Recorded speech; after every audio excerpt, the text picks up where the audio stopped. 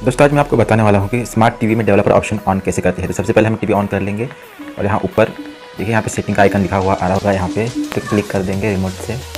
Select करने के बाद देखिए यहाँ पे बहुत सारे ऑप्शन दिखेंगे तो हमें जाना है डिवाइस प्रेफरेंस में। तो नीचे लेते हुए यहाँ पे डिवाइस प्रेफरेंस पे क्लिक करना है ऑन करना है। यहाँ पे देखिए आपको अबाउट दिख रहा होगा, वहाँ पे सिलेक्ट करके इसे ओके कर देना है और फिर नीचे नीचे नीचे बिल्ड नंबर दिख रहा होगा। ये रहा बिल नंबर तो बिल नंबर पे हमें सात से आठ बार टैप करना है रिमोट से। तो मैं कर देता हूँ।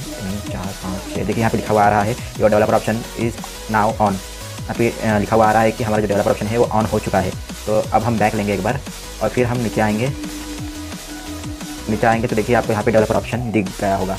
तो हमारा डेवलपर ऑप्शन जो है वो ऑन हो चुका है। तो अगर आपको फ़ोन से टीवी को कनेक्ट करना हो या कुछ काम करना हो डेवलपर ऑप्शन ऑन करना तो आपको यहाँ से बिल नंबर में सात सात बार टैप करते हुए जाना है और बैक आने के बाद आपको डेवलपर ऑप्शन दिख जाएगा। यहाँ पर जाने के बाद यहाँ पे डेवलपर ऑप्शन को ऑन कर देना है और फिर नीचे आते हुए यहाँ पे यहाँ पे देखिए डिबुकिंग ऑप्शन है। यहाँ पे इसे ऑन कर देना है।